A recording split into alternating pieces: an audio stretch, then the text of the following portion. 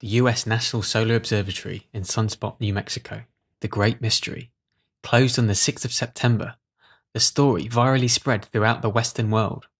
The question is can we trust the official explanation for the closure? What fragments of information can we piece together from covert journalists and researchers? Did something extraordinary happen here?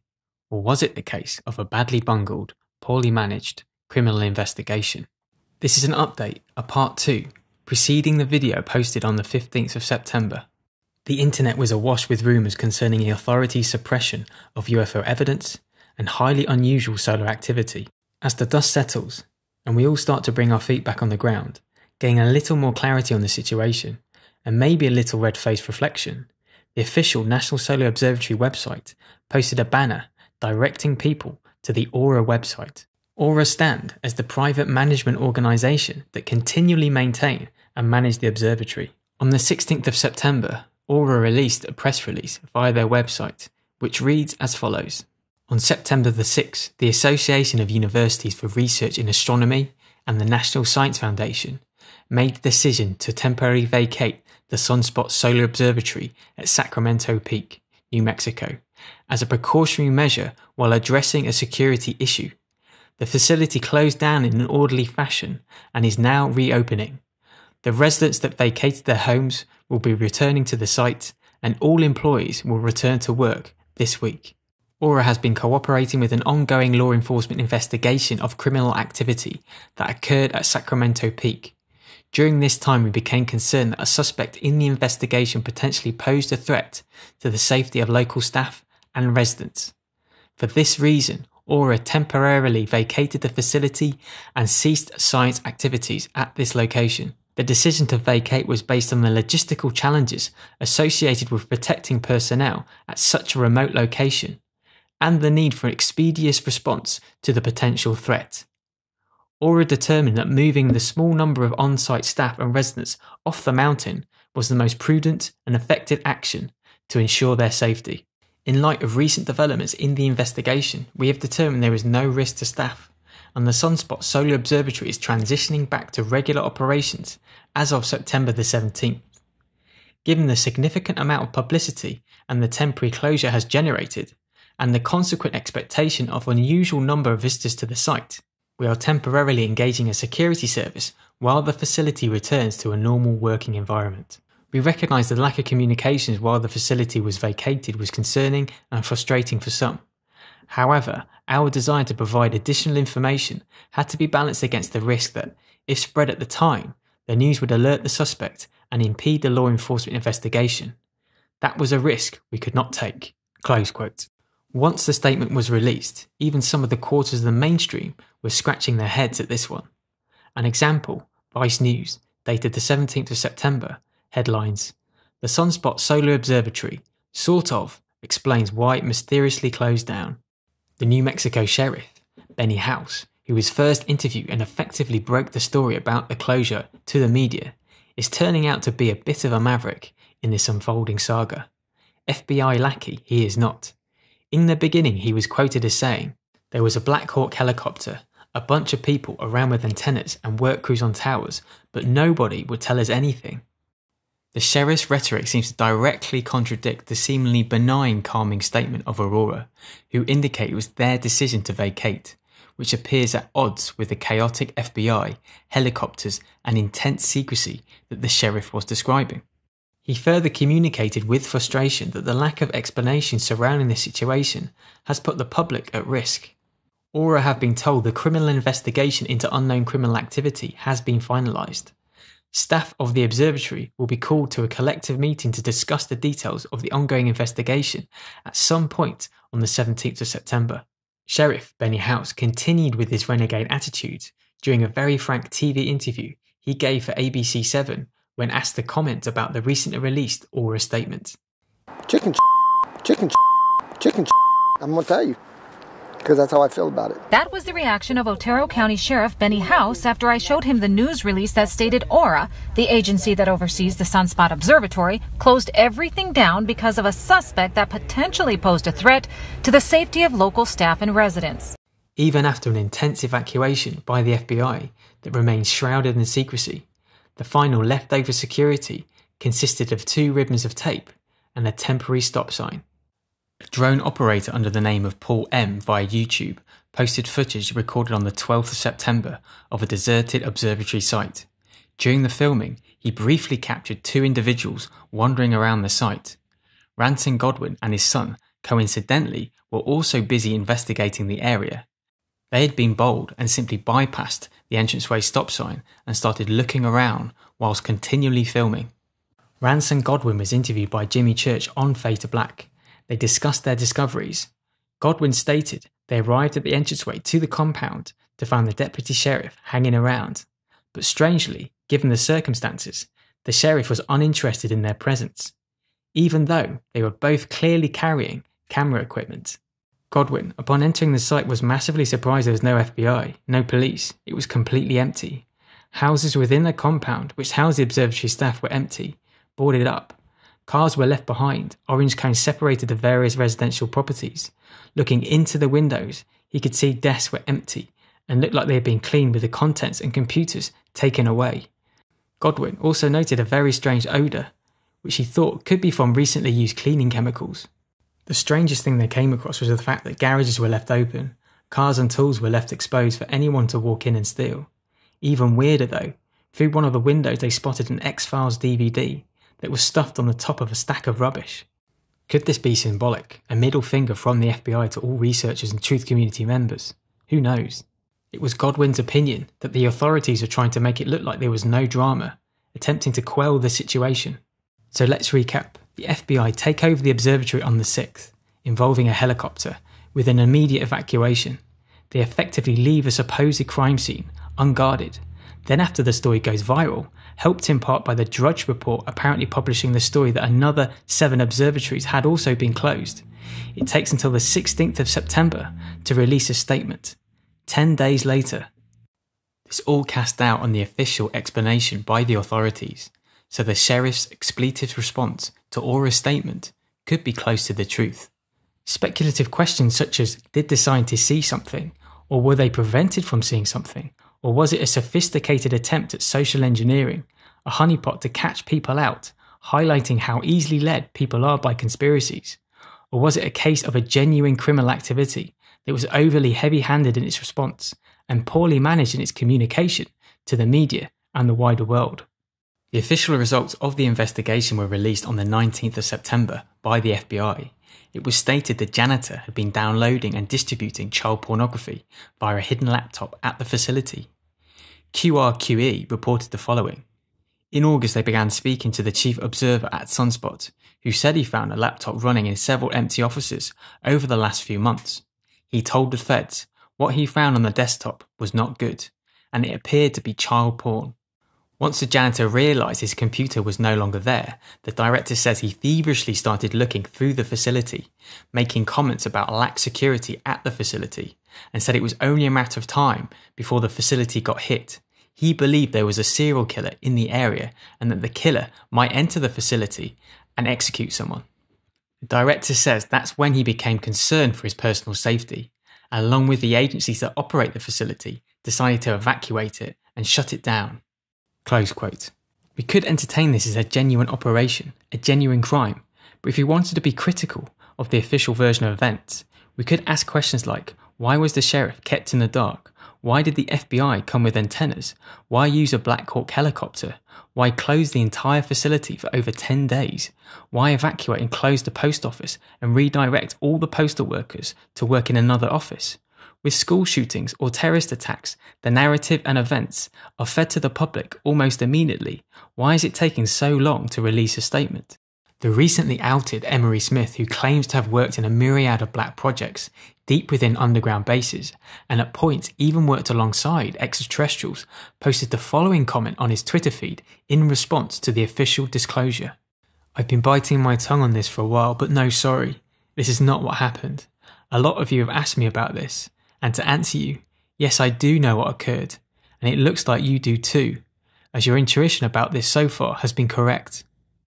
Earlier explanations concerning the reasons for an FBI criminal investigation, including the Chinese or Russians hacking computer equipment within the facility to spy on either the missile testing facility at White Sands or Holloman Air Force Base. Other theories have included a disgruntled employee threatening to bomb the observatory due to funding cuts, which would threaten the continuing operation of the observatory. A severe mercury leak from the telescope's background technology, and even an employee that was discovered selling stolen observatory equipment on the open market. On the 17th of September, journalist Linda Moulton Howe spoke with Jimmy Church on to Black.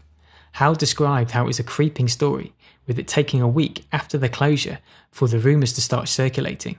She was scathing towards the alternative media, and namely the Drudge Report, for pushing the story that other observatories had been forcefully closed. Her colleague, Peter Lavender, did extensive research and found many of the observatories were still working normally. She accused websites of pushing the stories for clicks and cashing in on the traffic. Mentioned not finding any evidence for the closure of other observatories around the world by the FBI or other agencies linked to other nation states. But some of the webcams were down, coincidentally, for maintenance reasons. The rest of the webcam links in hindsight were also quite old, so may have been inactive for quite a while. But researchers such as Kerry Cassidy of Project Camelot still maintain from her insiders categorically that seven other observatories were taken down. So is it possible this story has been suppressed? I can't find an article the Drudge Report linked to that Howe spoke about, but some websites do refer to an article from Zero Hedge which discusses the Sunspot Observatory, but it never mentions other observatory closures. Has the information been scrubbed away, or maybe it was never there in the first place? In terms of photographic evidence of alleged craft around the sun, much has come from Gina Maria Colvin Hill, posted on her Facebook page. Although very interesting, more work would need to be done looking into the equipment she was using and rule out dust or reflections from the camera lens. Interestingly, Gina's images were used in a recent post by the covert journalist Benjamin Fulford. Fulford previously worked as the Asia Pacific bureau chief for Forbes magazine and worked extensively within the mainstream sector before having an awakening. Now he reports on information concerning the cabal, secret societies, and the intelligence community, areas that just aren't tolerated or even covered by the mainstream platforms. In an article dated the 17th of September titled MI6 says cabal rule could collapse in three months, Fulford wrote, CIA sources connected to secret bases in Antarctica say the sudden surge of activity in the intelligence community was related to the sudden closure last week of seven solar observatories. In particular, sources say the Solar Observatory in Sunspot, New Mexico, has been observing the sun since the Roswell incident. They belong to a special off grid group known as the Watchers. There are several of these special observatories strategically placed around the planet. They have files full of photos and video recordings of Wingmaker ships coming through the sun, as well as big ships coming through as part of the Galactic Federation's Observe and Assist Humanity mandate. The Cabal Deep State is backed up against the wall. They are grasping for feathers now. They went in and grabbed everything out of fear and panic. Gag orders have been issued. We don't know the final play yet. This may turn against them and be used as a main act of a disclosure event. The sources sent the following three photos of the observations that led to the closure of the observatories. The MI6 source said the observatories were shut down because they wanted to carry out more of an orderly disclosure process in order not to cause panic or misunderstanding among the surface population. As a result of Gina's images being featured in Fulford's post, either means the MI6 source forwarded this information, or there are actual elements of truth hidden in the extract. Fulford further made the connection that activity at the observatory could be linked to an increased surge of UFO activity around the world, and even tropical storm instances after a significant burst of unusual solar activity. Fulford in the past for the majority has rubbish stories concerning covert secret space programs and UFO activity, but recently Fulford has been covering this subject in more and more detail. Although in the same article he also wrote, It may well be that all this woo woo space stuff is just smoke and mirrors designed to hide a small cabal of old men. Several sources say that they are the elders of Zion, from prying eyes of the slave population they've been ruling over for so long. Another very interesting aspect of the Solar Observatory drama concerned NASA's SDO. Again, this was covered in the previous video and involved the partial eclipse of the Sun by an oval object, twice over a five hour period. Some commentators said it was purely natural lunar activity, but a bypass happening twice just didn't make sense when attempting to visualize the orbit. SDO stands for Solar Dynamics Observatory and was launched in 2010 and provides, in essence, an uninterrupted video feed of the Sun. The NASA SDO website allows you to download the various scientific solar imaging videos. The 9th and 10th detailed the dual solar eclipse.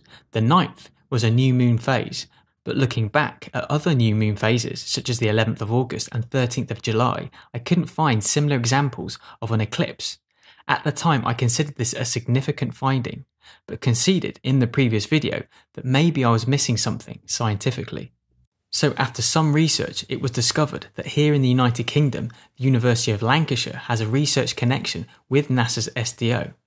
After further digging via Facebook and then LinkedIn, I was able to find a connected individual who worked in this area at the university. The individual titled himself as Research Associate in Solar Physics at the University of Lancashire. I wrote the following Hi, I just had a quick question concerning the NASA SDO. Over the 9th and 10th of September this year, the moon passes into frame of the SDO twice within a 5 hour period, and in opposite directions. I was interested in understanding the mechanics of how this happens. Could you help answer this, or point me in the direction to find out the answer? Thanks so much, Simon. Amazingly, he responded very quickly. Hi, Simon. The effect is caused by the fact that the SDO is in orbit around the Earth, rather than the moon changing direction or anything like that. The spacecraft orbits Earth quicker than the moon does, in the first transit across the SDO image, the spacecraft catches up and passes the Moon. In the second orbit, the spacecraft is travelling away from the Sun towards the night side of the Earth, which allows the Moon to catch up with SDO. I've added a diagram to help illustrate this. He even drew me a picture, an idiot's guide, praise be. The diagram clearly shows the two different points where the Moon and SDO converge during its orbit around the Earth, hence for the dual eclipse. The scientist posted me a link I previously missed during my initial research, the official Solar Dynamics Observatory blog, called SDO is Go. On this very website, they posted an article written on the 7th of September 2018, which covers this SDO lunar event. It was hugely kind of him to take the time to respond in this way, but in essence, I had now debunked my last remaining piece of evidence for craft around the sun. SDO again was launched in 2010 into an initial orbit of 2,500 kilometers or 1,600 miles. The orbit was then increased to 35,000 kilometers or 22,000 miles into geosynchronous orbit, which simply follows the Earth's orbit to remain in constant contact with ground based satellites, whilst maintaining a constant line of sight with the Sun. Usually, calls of coincidence by the mainstream to explain a story or situation is like kryptonite to truth community researchers and readers. But in this case, it just so happens a few observatory webcams were down for maintenance, along with the lunar eclipse of the SDO, all happened at a similar time to the sunspot shutdown. But given all that, considering the sheer amount of official telescopes, satellites, and cameras around the world, it's almost obvious on a regular basis things that the public aren't supposed to see are captured on film and then censored. When taking into account the huge weight of experiences, abductees, insiders, whistleblowers, citizen footage, which clearly proves the existence of ETs and UFOs, directly contradicting the mainstream narrative. NASA is known to edit images, airbrush out anomalies. The International Space Station cuts the exterior video when the UFOs come into frame during live broadcasts. Commercial airline pilots are discouraged from reporting sightings with threats to their career. The fact that other observatories around the world didn't report anything is hardly surprising. Even if craft were spotted near the Sun or strange solar activity was witnessed, it's very easy to argue that the official images we receive are sanitized, manipulated, if not falsified completely. So, in many ways, it's business as usual. More of the same secrecy we expect from the powers that be. In the previous video, I highlighted Holloman Air Force Base as legendary in ufology, with a potential meeting between President Eisenhower and alleged extraterrestrial diplomats. Dr. Michael Salla of exopolitics.org is a hugely astute, credible researcher and provides convincing research, documentation, and witnesses of this very event. So, again, is Holloman a connection in any way to the present day evacuation? We can only speculate. The researcher, abductee, and former mainstream UK councillor Simon Parkes presents a bi weekly show called Connecting Consciousness on YouTube. He claims to have family connections within the British intelligence community, along with connections with elite circles via a late family member. As a result, he occasionally receives covert insider information. He spoke on his own YouTube show on the 15th of September and also with Kerry Cassidy on the 17th of September via a Project Camelot YouTube channel. Cassidy has many years interviewing insiders from black and covert space programs. Now, this gets strange, very strange, but it's important to write and disseminate with no filters. I'll convey what was said, you just have to decide whether you agree or not. No one really, with certainty, can be sure how deep and twisted the rabbit hole goes. The interview was interesting and that there are two different researchers whose insider information seems to correlate or dovetail in some way. Also, the intel roughly tallies with Benjamin Fulford's earlier information, which also came from a British MI6 insider, so very similar to Parkes' connections. Simon, at the very start of the interview, stressed very earnestly he wouldn't communicate something unless he thought it wasn't absolutely true or hadn't double checked it. He described the Sunspot Observatory as being the finest in the world at capturing images of the Sun from Earth, he explained the telescope equipment as being a mixture of optical and digital imaging technology. Parkes also still claims that seven other observatories were taken down in places such as Spain, Chile, and Hawaii. This meant there were no civilian eyes now on the Sun. At Sunspot, computers and files were taken specifically because craft was seen around the Sun, and the authorities didn't realise the imaging was so good that it was able to clearly capture the ships entering the area of the Sun hence why the Sunspot Observatory was quickly closed down by the FBI, which in itself was a cover because it could be linked to criminal investigation due to the FBI's presence. Parkes expanded his claims to include the post office, which, if you remember, was also evacuated by the authorities. He claims it was being utilised as an undetectable way to leak information about extraterrestrial craft and unusual solar activity. Now it gets stranger. Simon and Kerry both confirmed a connection with D Wave or quantum computing, which links to the work of Eamon Ansbro, who works as both a scientist and astronomer. Ansbro is developing a quantum experiment to contact extraterrestrial or interdimensional entities. Kerry interviewed him in February of this year. Both Simon and Kerry stated that this telescope had been experimenting with these very ideas of contact. Parkes advised the craft that were witnessed were the result of earlier quantum communications.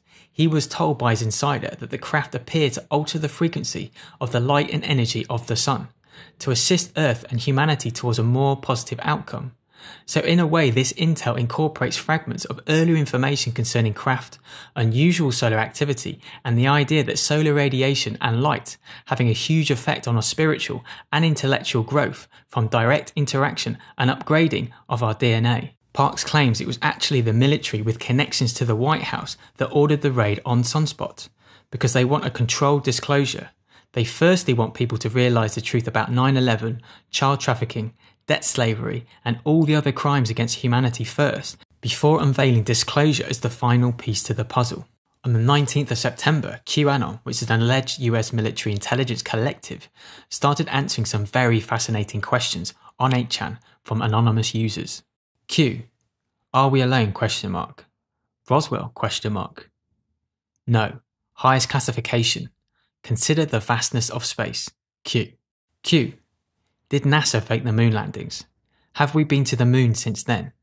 Are there secret space programs? Is this why Space Force was created? False. Moon landings are real. Programs exist that are outside of public domain. Q. The question is, has the Solar Observatory saga influenced this release by Q? Is the time now right for people to start being fed the truth? Of course, Aspects of this information may resonate with you, others not. That's fine. It's important to expose yourself to as many thoughts, theories, and ideas as possible. The reason that humanity is in such an insular caged thought prison is down to suppression of information and manipulation of perception. All of us need to break out and realize a more positive interstellar future. Be rest assured, we all have front row seats to some of the greatest events in history.